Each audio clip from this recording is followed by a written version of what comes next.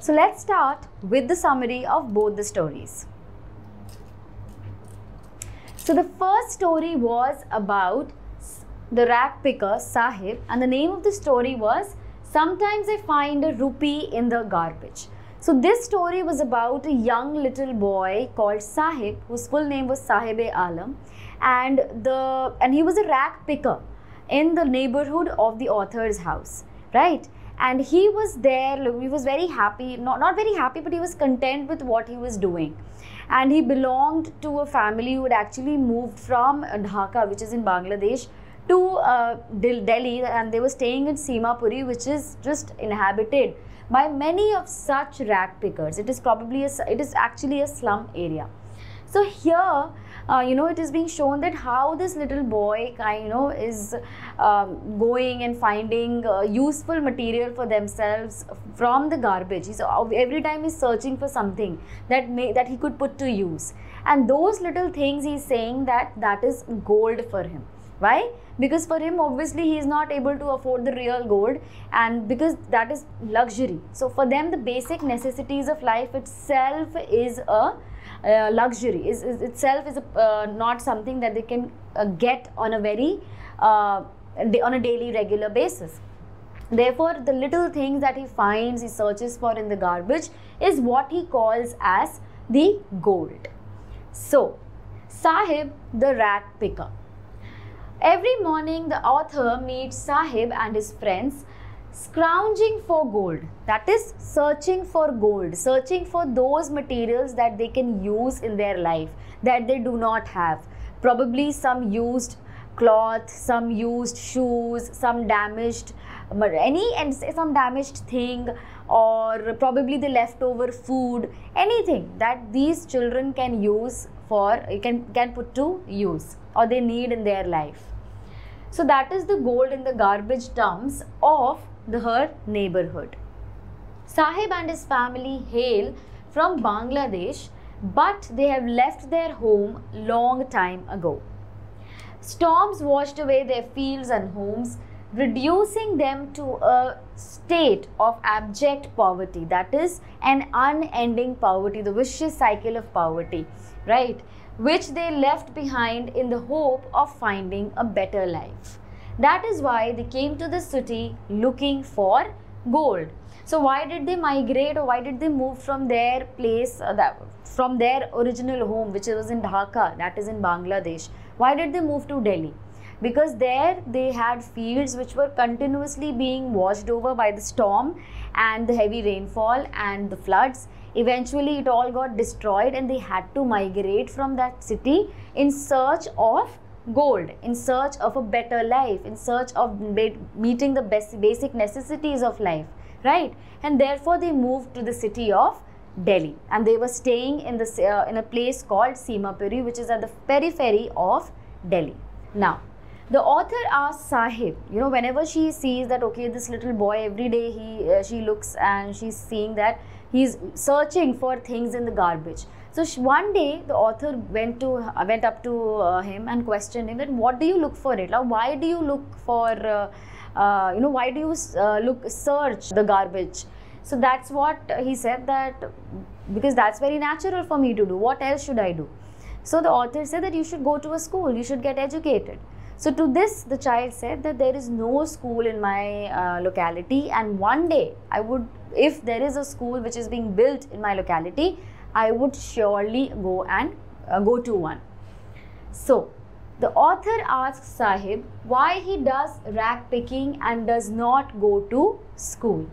To this, he replies that there is no school in his neighborhood, in his locality. The author jokingly promises to open a school after a few days. And Sahib asks if the author has opened the school, then he would go. So one day what happens when you know this conversation had taken place. So after a few days, Sahib saw the author and he actually went up to her and he was very hopeful. So he very you know with very hopeful eyes, he questioned her that have you built that house? Uh, sorry, have you built that school? So the author is embarrassed because in that conversation where she was saying that okay if I build a house, if I build a school, will you go uh, to that? So there uh, the author just meant to see if he wanted to go. She did not really mean that, okay, she will be constructing a school.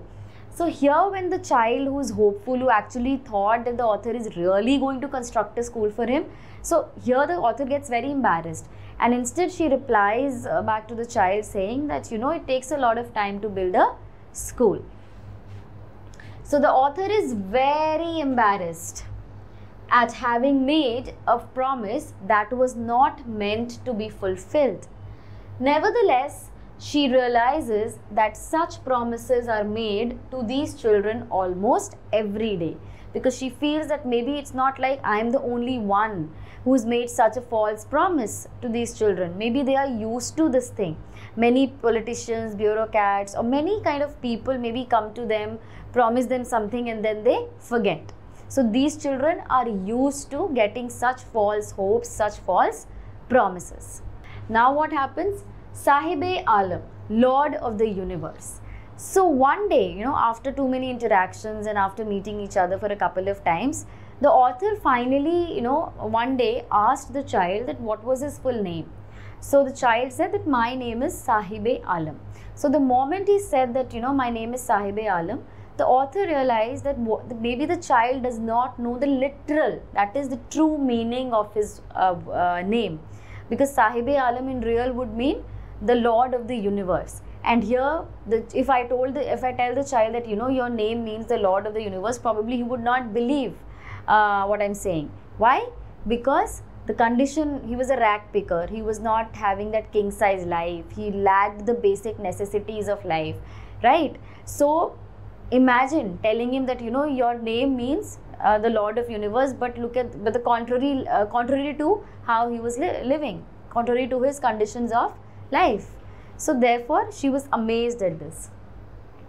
So after some months of knowing him the author asks sahib his full name. The author notices the irony in sahib's name because it was sahibe alam which means lord of the universe she feels that Shah Sahib would not believe what his name means. Unaware of the meaning of his name, Sahib roams with his gang barefoot on the streets because his lifestyle, the conditions of his life was very different, was actually the opposite of the literal meaning of his name that is Sahib Alam which means Lord of the Universe. So, uh, the author curiously asked, you know, one day when she notices that Sahib and his friends, group of boys, then every time they are barefoot, which means they're not wearing any footwear. So one day she questions Sahib that why don't you wear shoes? Why are you barefoot all the time? So Sahib says that, you know, just because I have shoes which are kept in the shelf and my mother has hasn't taken them out and given it to me. But then the next child hearing to Sahib's reply just says that, you know, even if she does, he is not going to wear them. So again there is a third child who says that you know i i'm wishing i'm hoping that when will that day come when i would have one pair of shoes for myself. And then there was one in that gang who was wearing shoes but they were mismatched which means two different uh, pair two different styles of shoes he was wearing. Probably one from one pair and the other one was from other pair so mismatched shoes he was wearing. So this had been the condition of the people of you know Sahib and his gang. They were living in such conditions where basic necessities of life were not there, were difficult to find. So the author curiously asks why they don't wear slipper. Now one shares that his mother does not bring them down from the shelf. But hearing them, another one says that he wants shoes. Moving across the country, now while this conversation was going on, the author just remembered one more incident. That was way back when she moved to a place in Udupi where she remembered that there was a priest uh, of a temple whose son used to, you know, daily, every day while going to school, he used to stop at the temple, pray to God for the shoes that please give me a pair of shoes. And after some days when the author went there she found that you know that child has grown up and now he was having a pair of shoes. So suddenly the author in her in her mind started you know contrasting the situation. That one there is a situation where one was continuously praying to have a pair of shoes and the goddess actually answered that because now the child the son of the priest was wearing shoes and here there are a set of people who do not have shoes who are actually living in conditions where wearing shoes or even having footwear owning the slippers was not possible. It, they couldn't afford it. Imagine shoes. Here we're talking about shoes. For these people even having proper meals three times a day is not actually there. It does not really happen. So forget about shoes. The basic necessities here are missing. Proper hygiene proper health care education food uh, uh, clothing which is which has to be proper shelter. All these things are lacking. So moving across the country the author has seen many children walking barefoot. One of the explanations is that it is a tradition and not the lack of money. Anees wonder if this is just an excuse to explain away a perpetual state of poverty. Now, the author also thinks that maybe somewhere, sometimes it is definitely about the tradition and the custom of not wearing the shoes, but most of the time she feels that this is just an explanation just uh, a way to hide the state of poverty the uh, perpetual means the never ending poverty state of people uh, in the name of tradition. Now author is pained by the fact that rag pickers are still barefoot. So now she is comparing and contrasting the situation of the son of the priest and the rag pickers. The author remembers a man from Udupi as a young boy who would pass a temple every day where his father was a priest and he would pray for a pair of shoes. 30 years later, the author visited his town. Behind the temple, there was the house of a new priest. And Anees noticed that the young boy of the priest now was wearing shoes. So his prayer was answered. His wish that he was wishing since so many days uh, probably years that please give me a pair of shoes was answered. But on the contrary, the writer was reminded of the boy who prayed that he should never lose his shoes. The goddess had granted his prayer, as most of the young boys there now have shoes to wear. As against this, the rag pickers, that is, here she was thinking about Sahib and his friends, and generally also about the rag pickers, that in the author's neighborhood they still remain barefoot. So she's just thinking about both the you know incidents in both the situations. Now, garbage is gold. How do we say garbage is gold? So the author's acquaintance with the barefoot rag pickers takes her to Seemapuri, which is a place which was inhabited by uh, Sahib and many more boys and families like Sahib. So Seemapuri is a place on the periphery, that is on the outskirts of Delhi, which seems to be miles away from it because Delhi is very developed and is having a different lifestyle, most of the people. And here we are talking about a place which is on the outskirts of Delhi but does not seem to be a part of it. Why? because here there is uh, no proper development taking place no proper basic houses there are slums all over illegal construction is there people are not living in proper conditions no proper sanitation health hygiene water supply so nothing basic necessities of life is not available there so the place is home to 10000 other shoeless rag pickers like sahib they are all bangladeshi refugees who came here back in 1971. They live in very poor conditions in the mud structures with roofs of tin and tarpaulin. The place has no running water facility and no drainage. So look at the conditions. The basic necessity is not here. The rag pickers have lived here for the, for the past 30 years and some even more but without identity. Yet they have a valid ration card. Not having an identity here does not really is a matter of concern for them, does not even bother them. Why? Because if at the end of the day they don't sleep with empty stomachs, So, more important for them is the food, the necessities of life rather than having an identity card.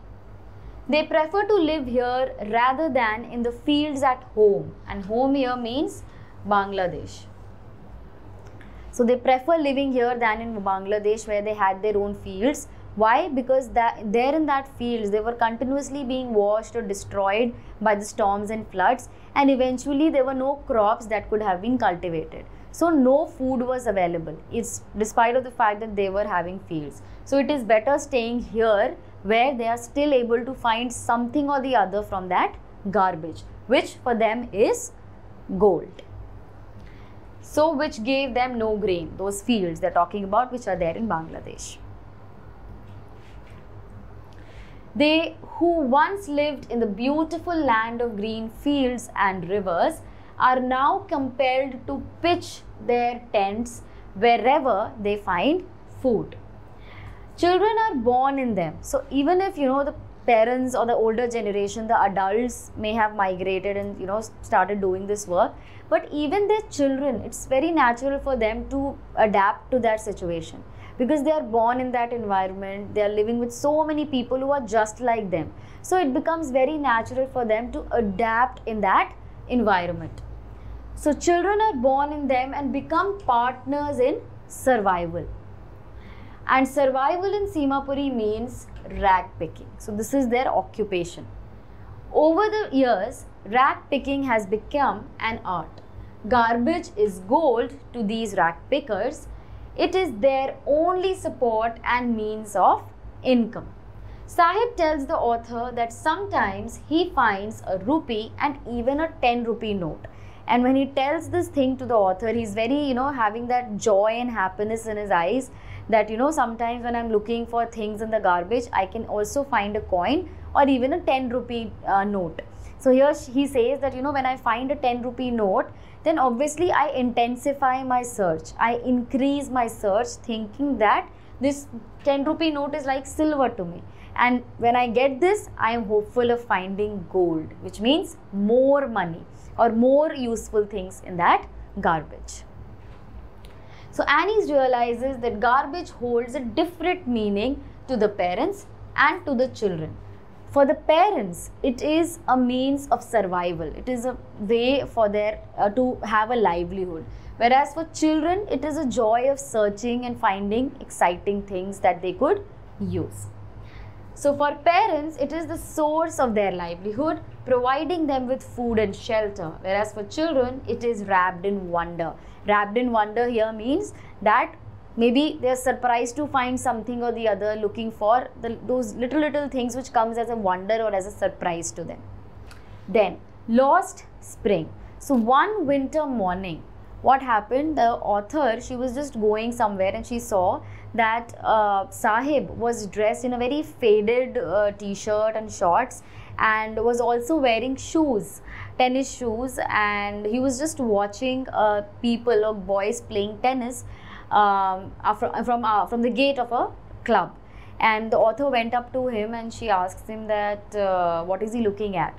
So and you know she just looks at him. So the child automatically says that you know i am really fond of playing this game and but i can't do that. But see the dress that i'm wearing probably some rich boy who uh, has given it to me because he does not really want to wear those shoes which has hole.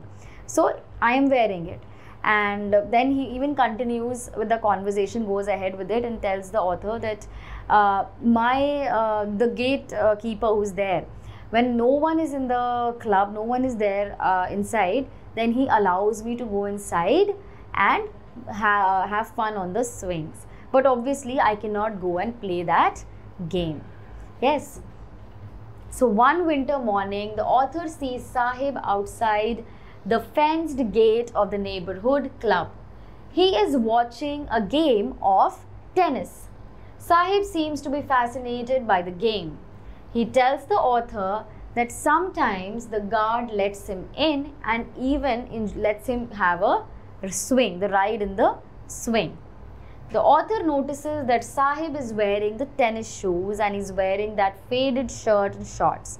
But when uh, Sahib realized that the author was looking at his attire, so he himself comes up with an explanation and he tells him that you know some rich boy has given it to him. So the fact that some rich boy discarded the shoes because there was a hole in one of them does not really bother that child. For Sahib, who has walked his whole life barefoot, it is like a dream come true, despite of the fact that one shoe was having a slight or a small hole. It was not a matter of concern for Sahib because all the life he was never wearing shoes. He was always barefoot. So even if he gets a used shoe or a, a damaged shoe, he is okay with it. It's like a dream come true situation for him. So Sahib no longer is his own master.